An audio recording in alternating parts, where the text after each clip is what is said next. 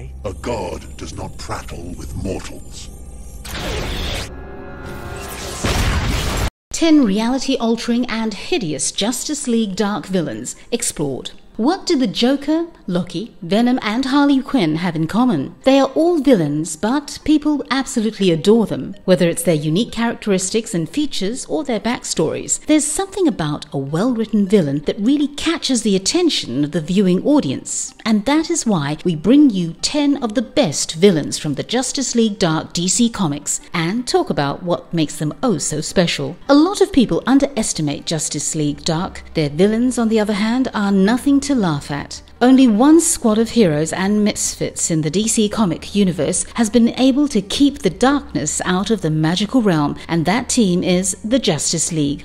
Dark. The squad is notorious for gathering together some of the DC universe's most powerful magic users and animals to confront the darkest forces known to mankind. This alternate Justice League has taken down scores of weird and twisted opponents while serving as a barrier against the dark forces of magic. The JLD enemies make the Justice League's rogues gallery look like child's play, with ancient evils, extra dimensional entities, and even former heroes converted to the dark side by the dark arts. Today, we are looking at the 10 scariest villains the JLD had to battle. Before we go into our explanation, we have a very small request.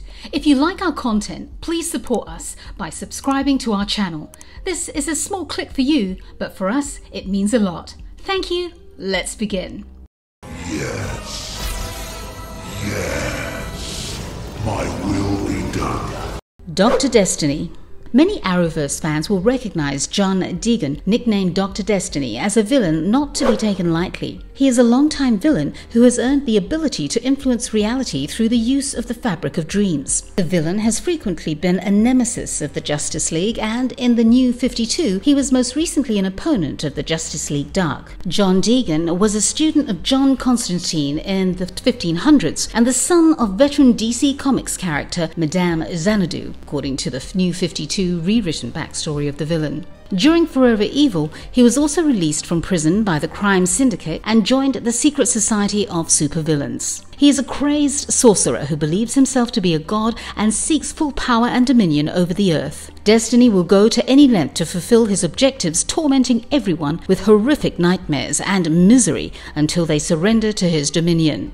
He eventually becomes a villain for the main Justice League as well as the cause for the formation of Justice League Dark, a sub branch of the Justice League that specializes in fighting both normal magic users and the powers of hell. Destiny is a powerful sorcerer who has been shown to be able to make illusions generate virtually unbreakable force barriers, bring demons under his command, and cast a range of potent spells with seemingly little effort, even when he was at his lowest. Destiny had previously been proven to be a powerful individual capable of summoning weapons in an instant to kill a competent knight. Even if his body is severely wounded or destroyed, he will not perish because his life is linked to the Dreamstone, rendering him eternal with a way to return until it is destroyed. The Dreamstone is directly responsible for the majority of his strength, making him fallible when separated from it. Here's what real magic looks like. Felix Faust. The beginnings of Felix Faust are largely unclear. However, Felix Faust's first reported appearance dates from 5000 BC when he emerged in the legendary African empire of Kor. Nomo, the greatest wizard of his day and protector of the mystic power known as the Flame of Life, was the king of Kor, and he defeated the sorcerer, banishing him to another dimension. Deacon Drake, a maniac and aspiring magician, discovered the dimension and opened the gateway in the mid 1920s. The sorcerer was freed and invaded Drake's body, destroying his soul. Despite being back on Earth, the sorcerer's abilities were greatly weakened. Obsessed with reclaiming his mystic power, the sorcerer read about a guy named Faust who sold his soul to the devil in exchange for extraordinary abilities and did the same. Felix Faust was a villain sorcerer who fought the Justice League. He is an immortal entity fascinated with the pursuit of mystical knowledge, having struck a literal pact with the devil. Felix, unlike Zatanna and Constantine, who must speak incantations to summon their magic, is so powerful and confident in his magic that he can summon it at will. His abilities include conjuring energy blasts, which he employed to summon missiles and beams during his combat with JLD, He can also create energy barriers to protect himself from John Constantine's fireballs and Zatanna's blasts. He can also summon demons with ease, and when Etrigan broke into his sanctorum, he summoned a slew of demons to deal with him. Faust is frequently seen levitating on a magical platform since he possesses the power of levitation. If that wasn't enough, he's also telekinetic, as evident by his ability to lift a block of ice. He possesses the power to build energy constructs, as seen by his fabrication of a snake to restrain Deadman. Finally, he has the ability to manipulate elements such as water and ice, which he used to restrain Constantine and Zatanna. Faust has faced the Justice League Dark on a few occasions, and he always seemed to lose to them. When he was a feeble old man, he took them on one of the last times, and he didn't do so well. Tonight, my people will be avenged!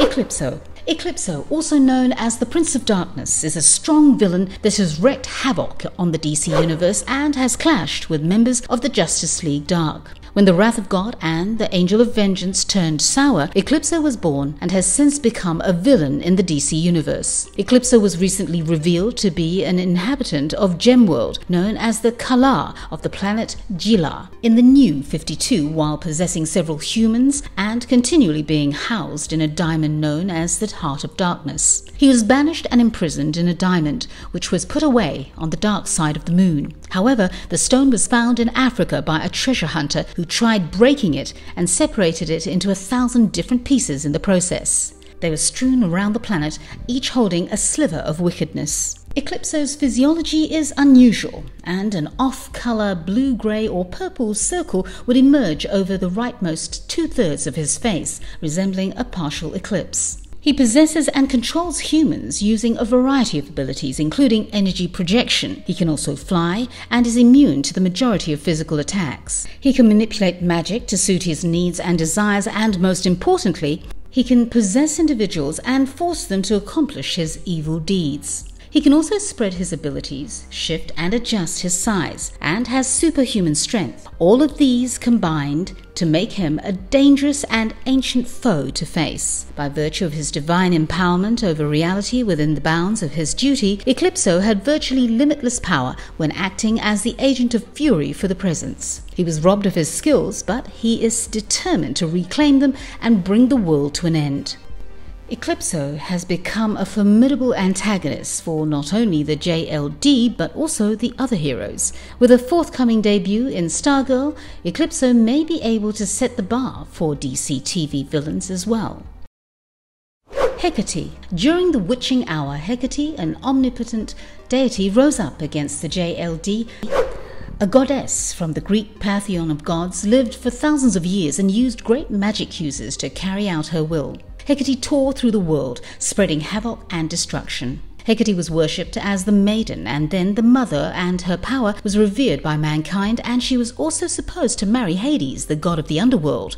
Mankind eventually became aware of Hecate's enormous power and strove to seize it. Hecate was summoned by a ceremony and chained by humans. Imprisoned in a prison she couldn't escape for eons, Hecate was approached by Hades after years of solitude, informing her that he had taken a new bride and that she was no longer welcome at the gates of Olympus. In her anger, she tore a hole in magic with all of her rage, allowing some of the darkness to break through the curtain of existence. She gave this black magic to the Earth's magicians, hoping that they would use it to destroy their own race, and it was at this point that a new and different version of Hecate emerged the crone. The crone was pure evil, desiring nothing more than for all living things to suffer. Hecate, being a goddess, was immortal and had immense power ranging from necromancy to altering reality. She can teleport and conjure up illusions. Any sort of magic that you can think of, she can do. Her control over magic is absolute because of her divine ability, which makes her an absolutely terrifying foe. This character is based on Hecate, a legendary figure from Greek mythology. Hecate was finally defeated when Diana summoned up the Upside Down Man who feasted on Hecate, putting an end to her reign of horror. Upside Down Man. More and more villains have appeared in recent comics to take against the Justice League Dark. The Upside Down Man, a terrifying and extra dimensional entity, is the most well known of them all. The Upside Down Man was born when creation gave birth to magic. Hecate, the first magical being, was formed when the magic in its raw form transformed into a dazzling light. In the other place, the upside down man was formed from the darkness, just as she was from the light. Hecate, terrified by his presence, built a barrier to keep the upside down man out of her beautiful domain, as she did not want her precious realm to be soiled by horror. Upside Down Man's purpose is to feed and absorb all magic. The Upside Down Man crossed over into DC's realm during the last era of magic and attempted to destroy everything before being stopped by the JLD. His powers are vast and terrifying. The Upside Down Man, as a member of the other kind, does not age and cannot die in the traditional sense. He can also change his appearance at will. He claims he assumes the form he does so that human minds might understand him. He possesses superhuman strength, agility, and senses, as well as the ability to recover from any injury to his body. He can manage a wide range of magical powers with ease because he was literally made of magic, and he can most notably generate massive blasts and waves of magical energy. He can also teleport, distribute his powers, use telekinesis, and any other magical ability that you can think of. He is also an ancient entity, just like Hecate, which makes him formidable. Nick Necro illustrates that there is a fine line between love and hate. Nick Necro was a great sorcerer who was the instructor and mentor of both Zatanna, Zatara, and John Constantine, as well as being their boyfriend and friend for a period of time. However, Nick's preoccupation with getting the magic books drove the three of them to drift apart, putting him at conflict with the Justice League Dark, whom he finally faces as a cross between Constantine and Zatanna. Their altercation took place in Nick's apartment, where at the end of the fight, Nick died on top of a rune which served as a portal to hell, and his soul got dragged away, leaving John and Zatanna victorious. However, Nick also manages to come back from hell and continues his quest for the books of magic. He is said to be a master sorcerer with considerable power in the use of magic. He has the strength to take on members of the Justice League Dark, such as Zatanna and John Constantine. Nick is also a great practitioner of black magic, having taught Zatanna and Constantine how to use it. This type of magic is notorious for being dangerous and costly to the practitioner. He possesses the capacity to hurl bolts of lightning capable of hurling spirits such as Deadman, indicating that he possesses electrokinesis. Necro has the ability to absorb other people's abilities, such as Black Orchid's. He learnt the skill of backwards magic, also known as logomancy, after his stint in hell. He claimed to have mastered it to a level of proficiency much above Zatanna's. Finally, Nick can use the phrase draw club zigamalays to protect himself from logomancy's spells. Nick Necro is one of the strongest magis that the JDL ever encountered.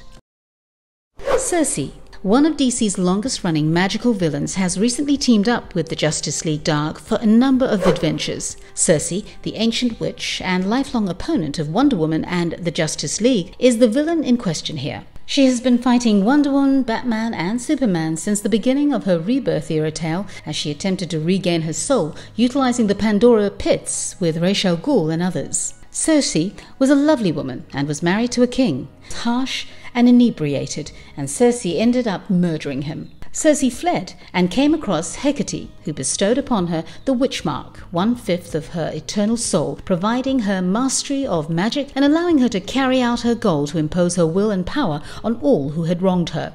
And so began the legend of Circe the Witch. Her ability to change people into animal hybrids, known as Animen, is the most well known of her many magical abilities. Circe was beautiful and powerful, but she lost her soul when she traded her soul to a dimension of hell somewhere along the line. She couldn't get it back, no matter how many spells she cast or how hard she looked. She has a plethora of formidable powers because she is a demigoddess and has a vast array of magical powers at her disposal, including opening portals, shape shifting, teleportation, possession, flight, along with being well versed in the occult arts. Circe has recently become a temporary ally of Wonder Woman, who is being pursued by the goddess Hecate. She has, however, fought the Justice League Dark, forming the Injustice League Dark as a result.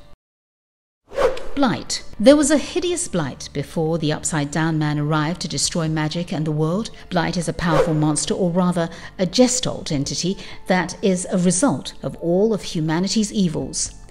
This entity inhabits the body of Chris Esperanza, a company of the Phantom Stranger who has Blight wakened within him and is not to be confused with the Batman Beyond villain. Overwhelmed by the emotional agony of being resurrected, Chris Esperanza, the Phantom Stranger's companion, awakens Blight within of him, causing his body to become the conduit for Blight. Blight has many powers and abilities, such as having cosmic awareness and omnipresent, because he is able to keep an eye on all evil doings in the world. He is also adept in magic and can use it to his advantage. One of the ways happens to be pyrokinesis, or the ability to start fires with his mind. He also is able to possess people and take over their bodies, but the biggest catch of them all is that Blight is immortal. Yes, this creature can never be killed because it is a gestalt entity, and thus can only be banished to the collective unconsciousness. Thus he remains a threat even after being banished because he could awake at any point of time. Blight was a major menace to the JLD during the Crime Syndicate's invasion of Earth in Forever Evil, opposing them while the Crime Syndicate laid siege on Earth. Blight calls John Constantine Swamp Thing, Nightmare Nurse, Phantom Stranger, and Pandora to his New York City headquarters in order to fight and murder them while occupying their friend's body. In the end, Chris continues on after Blight is defeated and banished to the collective unconsciousness, becoming a spirit of redemption. Pralaya. As the new 52 era came to an end, so did the first run of Justice League Dark, with the heroes facing off against the likes of Pralaya, the embodiment of darkness being older than the entire multiverse and hellbent on destroying it. She is said to be non existence itself, the emptiness from which the entire multiverse is born and to which it always returns, and is known as the goddess of the void. In Justice League Dark 37, she emerges from her sleep, nearly instantly enveloping all of the multiverse's timelines in her vast self. Her ambition is to put an end to all existence and return everything to the primordial cosmic sleep. Pralaya is an abstract being but presents itself as a female. Her powers are massive and her weaknesses are non existent as she predates time and is the embodiment of the void. Her powers range from mind control to flight, teleportation, regeneration, and her abilities include the power to manipulate pretty much everything, including darkness, time, space, and reality itself. She has a staggering amount of power and extraordinary powers, making her a strong opponent for the magical squad. Pralaya, like many other villains, didn't last long and was easily defeated.